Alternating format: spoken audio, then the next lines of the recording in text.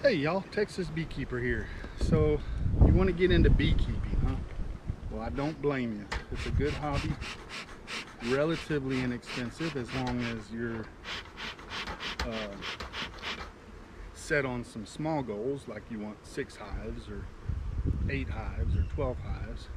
You can get there pretty fast, relatively cheap, uh, and it can pay for itself. Uh, when it starts getting expensive is when you don't have a limit, when you just want to keep increasing. You're going to constantly be buying equipment, building equipment, and uh, it'll seem like you can't keep up with the bees. But uh, as long as you have some relatively small goals, uh, it can be it can be a pretty pretty fun hobby, pretty uh, little work, minimal effort, and uh, very rewarding. You can get honey, propolis, pollen, uh, wax, all kinds of resources come from the bees and uh, a lot of it with just honey cells or wax cells, propolis cells. Uh, it can pay for your expansions. Um, so I'm going to go through a few a few uh, things that you need to have when you start. One of those being hive tools. This is a standard J-hook hive tool and I like it because you can get under the frames and pick them up. You've got this in for scraping wax or cleaning propolis off the frames. However, this tool, I like the J-hook a lot better. It's a lot narrower. As you can see, this one is kind of fat. This one has to be just perfect. You almost have to put it in at a, at a uh, perpendicular to the plane and then pull up where this one can more easily get under the frames. So you may look at the designs. There's nothing wrong with having multiples. You're gonna more than likely need them and then this is just a standard hive tool.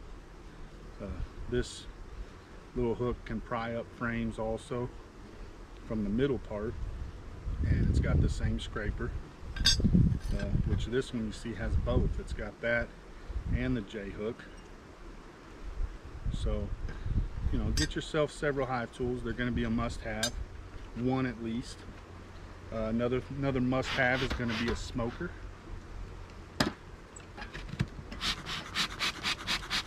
And this is for smoking your bees. Uh, gets them to get out of the way. It masks their pheromones. Uh, the bees will set off a, an alarm pheromone uh, when they're startled or angry at you and that tells the other bees hey something's not right. Well smoking them masks that smell so they can't communicate as easily. And uh, a lot of times it'll seem as if they're calming the bees. Uh, my first tip would be to get calm bees to begin with. Uh, but definitely you're going to want a smoker and you're going to want a hive tool of some type. For smoker fuel you can use anything from sticks, pine, pine needles work really good. I used to have a pine tree that provided for the most part plenty of pine needles, but it froze in 2021. We had a hard freeze and that killed that tree. Of all trees, the pine tree. Uh, I, I, found that rather odd, but I no longer have it. So now I use uh, sticks, leaves, and uh, the most recent uh, is uh, horse bedding. You can go to Tractor Supply, get a 40 pound bag for, I think it's just under 650 and uh, they're little pellets. you can put those in your smoker. They're a little harder to light, but once you light them, that's what I have in here right now. Once you light them and you keep uh, your smoker going, that fuel will burn cool. You want to always test it on your hand, make sure it's not warm to touch because if it's warm to your hand it's going to be hot to the bees. But once you get the horse bedding going that thing will last all day and then some. I've had it sitting out for a day come out there the next day and it's still smoking uh, if I didn't cap it. Now usually if I know I'm done I'll just put a cap in and that kind of cuts off the oxygen keeps it from burning Uh, so that's a good thing to have also, some sort of plug. This is just a stick, been using it for years. And uh, I just plug the entrance there. Just get one that fits pretty snug and you're good to go. As you can see, this one is lit pretty good, but if I don't keep pumping it, at least for a while, it could die out. But once you do get that horse bedding going, it goes really good. So we've got that, Hive Tools, a smoker, and then a torch to light your smoker. It's not a necessity, but it does make it a lot easier. And it's just a propane torch. Uh, you know, keeps you from having to deal with the wind as, as much. The lighter is difficult to get down in there. This thing, you just stick it in and turn it on. Uh, get your smoker going really quick. Not a must-have. Some form of lighting is, is a must-have, but this is definitely one that if you can afford the, I don't know what the, this might have been like 40 or $45 and then the bottles or, you know, price has changed lately, but I'd say somewhere under six to ten dollars. Uh, and one of these will last you a long time especially if you only have a few hives. This thing will last you probably two or three years if you're just lighting it excuse me every now and then. Uh, so some form of lighting your smoker the smoker hive tools. Uh, you're going to want some form of safety equipment. This is probably what I use most often. It's just a bee veil and it just fits over your head. And just keeps the bees out of the most sensitive uh, part of your body which is your face. Uh, bee stings to the nose lip eye they're not pleasant. And this uh, really helps in those times so definitely get yourself at least a veil and uh, earlier today I actually misplaced my veil. I didn't know where it was. And so I came out and just inspected. And uh, for the most part, every bee, every hive was perfectly fine. Uh, until I got to that last one and it literally was the last one I was going to do. And I cracked the hood and bees just came at me right into my face. Luckily I had my glasses on. Shouldn't be bad. I'm pretty used to it now so I shouldn't be swelling much if if any uh, but uh, they uh, they came right after me and uh, I didn't stick around I took off running towards the house and uh, got inside and you know killed off what there was thankfully you know they didn't you know they weren't Africanized bees that followed me and hung out waiting for me to come back out they uh, you know a few of them did stick on me and, and follow me but that was it. You know, got got rid of them, got my bee suit, came back out and finished up, closed them up, and was done. And they actually weren't near as bad the second time. But uh, yes, something was aggravating them, and that happens. You gotta always expect that they may not always be in a good mood. Anything can set them off, but as long as you're prepared with some sort of uh, protection, here's another nice one. It's just a bee jacket. Fits over you just like a normal jacket. And then you've got the veil that goes over your over your face.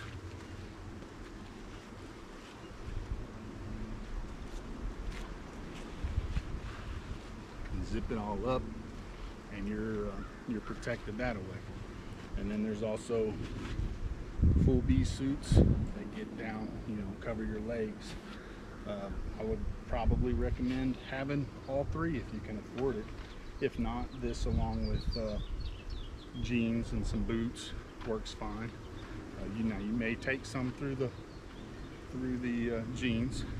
This is a vented bee suit. It's got three layers of protection, and uh, I find these do a really good job of protecting you stings. And they also are ventilated, so it's cooler to wear still pretty hot in the Texas heat, but this beats getting stung multiple times. Now, for me, me personally, you use your own judgment, but on a normal day, if it's a normal hive and they don't sting me or they'll sting me just a little bit, I would prefer myself to go without. I can see better without the veil. I'm cooler without the jacket. But I do, I do either carry it with me or if I'm at home, I, I know where to go get at least something. like I said, I misplaced this one, but I, you know, I did find it, and uh, I got that. But you know, especially if you're just starting out, it's a good idea to, to wear uh, a veil and or a bee suit. Uh, so now we've got some protection. Some people may like to wear gloves. Again, I don't wear gloves unless it's just a really hot hive. If they're coming after my hands, that's not pleasant. Uh, but I always give them the chance first. But yeah, if they if they're stinging me like crazy, I'll go put some gloves on. I'll use some cowhide gloves or bee stores sell gloves that slide up and fit up to your arm. You may want to get you a pair of gloves. And I'm not trying to scare anybody because, you know, normally bees are very docile. You know, you can see I'm standing here in front of these hives. They're flying around, which brings me, I said in front, I'm standing here behind the hives. Uh, but that brings me to the next point. You want to stay away from the front of the hive as much as possible because that's their flight path coming in and coming out of their hive.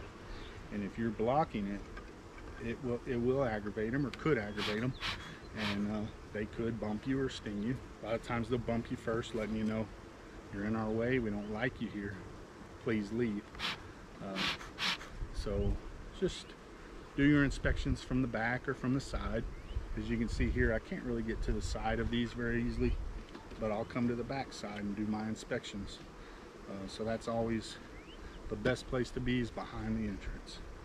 Um, so now let's get into some uh, other equipment. Hive bodies. You can get a hive body. This is a deep, which is what I run, all deeps. Some people will run mediums and shallows for their supers. And a super is a word for a honey super. That's what they'll stack on top of uh, a deep brood chamber. This is where the bees will have their brood nest, which is all the baby bees, eggs, larvae. Uh, above that, they'll put their supers, which is the honey supers, where they'll draw out comb and fill it with nectar. And that's the honey that you get to extract. Me personally, and I'm probably one of the oddballs, so don't feel inclined to follow what I do. This is just the way I do it. I run all deeps. Now, the only reason I run all deeps is because this way I don't have to juggle my frames. I don't have to worry about if I have a good deep frame that I want to move up to the top and it won't fit if it's a medium super or it won't fit if it's a shallow super. So with deeps, if I have a deep super, I'll just move my deep frame up into the deep super and I'm, I'm fine. Uh, so that's a, a, route that I chose to take. Uh, some people don't want to. Deep supers, when they're full of honey, they get really, really heavy. And there's alternatives to that. You can unload the honey into a deep super that's in a cart, you know, frame by frame. You can put them in there. Leave your empty box, fill it with empty comb or empty frames. Uh, there's ways around it. You can. Some people have lifts that they'll use to pick them up. Uh, you can do any of that. Just do what works for you.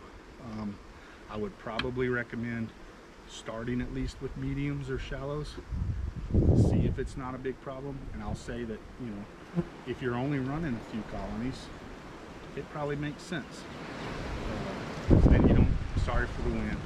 Then you don't have to worry as much about you know multiple hives that you know that you need to juggle frames between. If you only have four, two, six, then it's less of a pain. This particular one is a dovetail. I made this. It's a dovetail joints, requires no nails, just glue and uh, the dovetail fit. I just hammer them together. They self uh, square and I'm done. Very quick assembly. I encourage you if you're uh, mechanically inclined, uh, you like to do woodworking, take a look at my playlist for hive equipment. And in there, actually the first video I did was building a uh, quick and easy dovetail box. And it does require you purchase a dovetail jig or already have a dovetail jig, but it is, a, in my opinion, it's a really good way to build boxes. Makes a really high quality box. The assembly time is a whole lot quicker than nails and screws and I just think it does a better joint. They, if, if you cut them right, which once you have it set up, it's fine. But uh, once you have it set up, it's a beautiful joint, fits together just perfect, and really easy to assemble. So take a look at that playlist. I also have hive bottoms, hive tops, uh, migratory tops, and uh, other various things on putting the handhold slots, some grooves on the inside for dividers. Uh, but once you uh, decide you want to build your own equipment, that's definitely a, a good playlist for you to watch. Uh, so this is that that body. Here I have one that's a box joint or finger joint. This is one I purchased and it uses screws and nails, 11 of them per corner. So that's 44 per box. And I found that that comes out to about three dollars a box extra in cost. And I purchased these because I was saving a dollar cheaper than what I could build them for myself and didn't factor in the nails plus the assembly time and ended up spending more money and more time. I really think I could have built them faster and cheaper once I calculated the cost of the screws and nails. But again, use your own use your own judgment, your own opinion. You may not have the capability of making some uh, or finding dovetail ones. In that case, this may be your only option, and it's a perfectly fine option. It doesn't make a bad box. It just I find these you have to spend more time putting clamps on them, squaring them up. They're not a perfect fit. Nails and screws in every one of the the uh, joints and it's just time consuming but that's just my opinion something else you'll want to have is some frames there's two options you can get all plastic frames with built-in plastic foundation no assembly required and it just fits down into your box the other alternative is wooden frames you have to assemble them or buy them assembled. That's going to cost you more. Uh, usually you'll want to glue each joint and then staple, nail each joint as well. This would be for if you're running foundationless. You can put a strip of wax or wood at the top to, to lead the bees or you can go just 100% foundationless. For that I would recommend having some drawn out combs already or you can also get a plastic foundation to put in. Now these are really easy to install. There's a groove at the bottom. You just slide it in the groove and then pop it right in until it fits in that top groove. And there's your foundation. Now this is plastic, this is plastic. So if you're going this route, there's not much difference between that and this. Plastic frames are a little thinner I found that with these you can run a full nine with a one gallon frame feeder.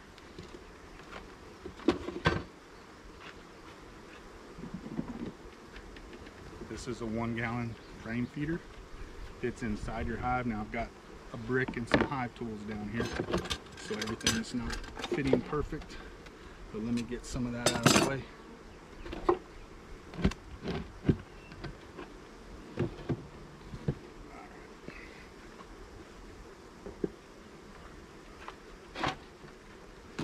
one gallon frame feeder just slides right in just like a frame and uh, with that ones I found. It's tight too tight to be able to get uh, nine of them in. Usually I can get eight with this. I've heard that if you get the one and a half gallon eight frames fit perfect with the one and a half. With uh, a one gallon you can't quite fit nine wooden and then it leaves a pretty big gap. With the plastic, I found you can get nine frames easily in and then a one gallon feeder. So just a tip, it's up to you what you want to use.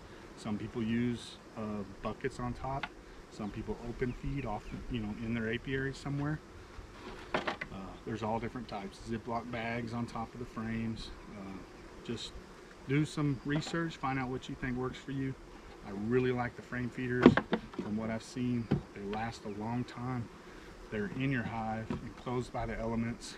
Uh, just last a, last a good long time.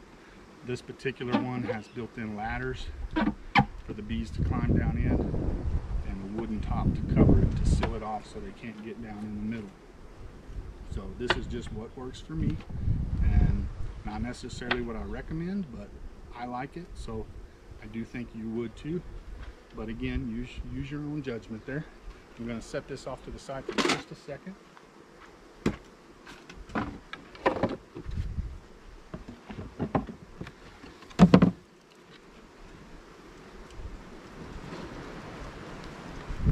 Okay, this is a bottom board. This bottom board I made, it's got a three quarter inch uh, lip on the top and then quarter I believe or three eighths on the bottom.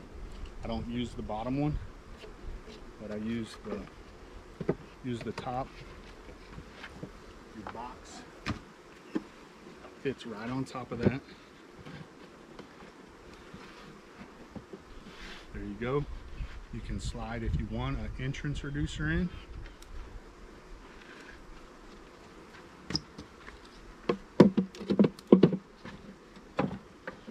There's that.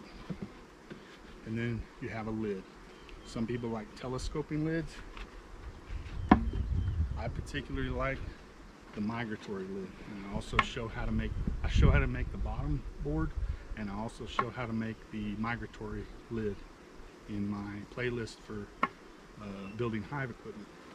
This particular lid just fits over the box. It's got a lip on the front and a lip on the back. Each lip overhangs. And then I build in a half inch shim all the way around. It gives them a little extra bee space. And that way you can feed pollen patties on top. Uh, you could put your sugar bags on top if you don't choose to do the frame feeders. It just gives them a little extra space. Now keep in mind that with that extra space they could draw comb on top of your frames. They could stick it to the top and they could also just gather up at the top. The bees like to, to gather at the top and kind of get out of the regular hive. Sometimes you'll crack the lid and it's just full of bees. There's things you can do. You can either take the shim out, don't put it, if you find it's not for you, it's not required. You can also put some of that uh, uh, foam insulation. It's uh, not the spray, but it's a it's a sheet, 16 inches wide, comes in rolls of 50 to 100 foot, and you can just lay that on the top or lay that here. You could even probably cut it to sit inside, and that'll protect the bees from, you know, it's like a radiant barrier or insulation for the winter but it would cool things down in the summer and warm things up in the winter. Uh, you can always go that route. Uh, there's other things also, like a spacer. This you can put on top. It's just, uh, I don't know, inch and a half or so. It's got a little entrance cut into it that the bees can come and go. Um, I don't know if this covers it completely. Looks like it doesn't. So the bees can come and go through there, no problem. This just gives them more space, particularly if you're feeding.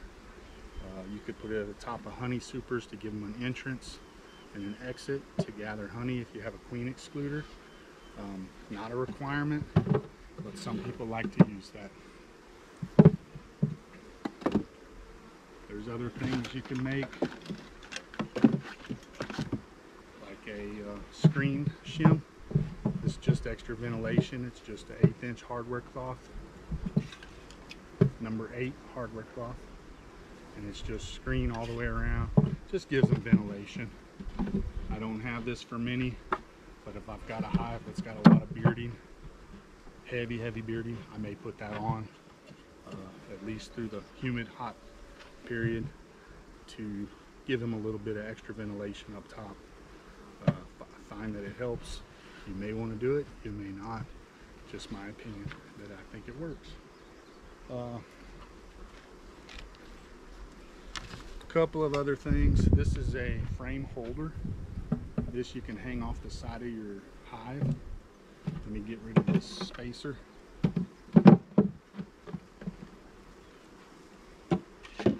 You just clip this right onto the side and as you're inspecting you can hang a frame there. You can hang, mul hang multiple frames there. They just sit there until you're ready to put them back.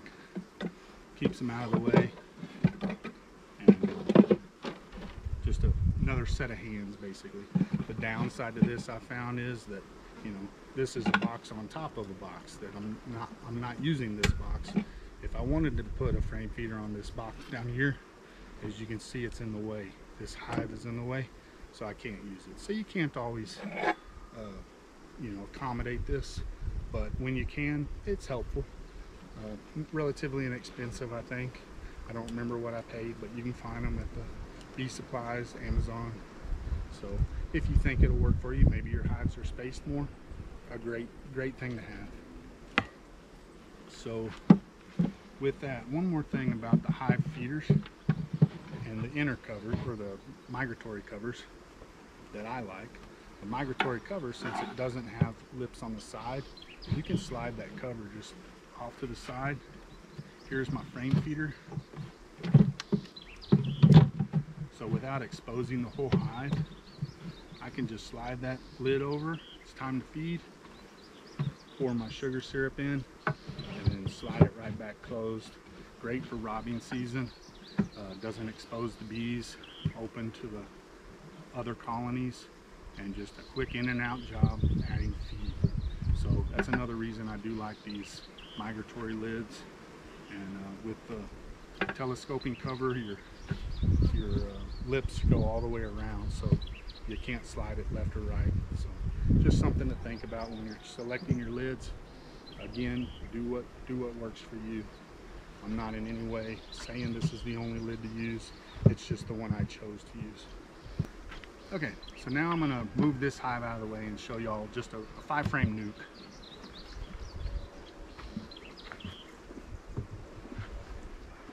So what we just saw was a 10 frame. This is a five frame nuc. It's just uh, half the size of the other. It can hold, you know, the same frames, and it, it'll hold five frames. Uh, you can build them to your specs. You can have them hold two frames, three frames, four frames, five, six, whatever size you think works. Uh, and this is just a better, for a smaller colony, it's better to start them off in a smaller box. You know, if you have two or three frames of bees, don't put them in a 10 frame box, or it's preferable not to put them in a 10 frame box. Uh, the less space they have, the better they'll concentrate on what's there. So having something like a five frame just will work better for them. Once they start to fill that out to four frames, five frames, then you can put them in the 10 frame box. And uh, back to the 10 frames, those also you can get in eight frames. My choice was 10 frame. Uh, I think you'll find that a lot of the equipment is geared towards 10 frame. You may have a harder time finding what you need for an 8 frame, but if you have a bad back or you find it heavy just to lift a 10 frame, you may want to look into going 8 frames. There's nothing wrong with it. Uh, it's two less frames. The plus is, like I said, it's going to be a lighter, lighter overall weight. The downside is you may have a hard time finding equipment. Uh, if you are into building stuff for yourself, perfect. You can make your own bottoms, you can make your own lids, you can make everything for the 10 frame, you can make for the 8 frame yourself. So that's an absolute plus. If you're handy in the wood shop and you want to go 8 frames, there's nothing holding you back. So take that into consideration. Myself, I chose to do 10. I choose to do uh, 5 frames for nucs, uh, for mating nucs, which we can get in a whole nother topic. Those I've been doing three frames so that I can stick a feeder in. Okay, uh, my battery died again. These GoPros go through them like crazy. But so what I was saying, I don't know where it cut off, but another alternative is uh, three frames. And I like to do three frames for mating nucs because I can I can fill a three frame box with two frames and a feeder That way I can feed them while they're building up the two frames. Once they build up the two frames, I can pull the feeder, add another frame. Now they've got three frames. Once they fill those up, now we've got a solid three frame that can easily be trans transferred into a five frame nuc. Give them two additional frames or one frame and a feeder depending on what they need. And uh, it just kind of steps them up gradually. Three frames to five frames to a 10 frame. And uh, I just find that works for me. Again, uh, use it if you think it works for you. If not, find, find what does work for you. Uh, so that's all I've got for today. I appreciate y'all watching. Uh, if you found this video useful, please hit the like, please hit the subscribe so you get any future content that I come up with. And uh, look forward to seeing you. Thank y'all.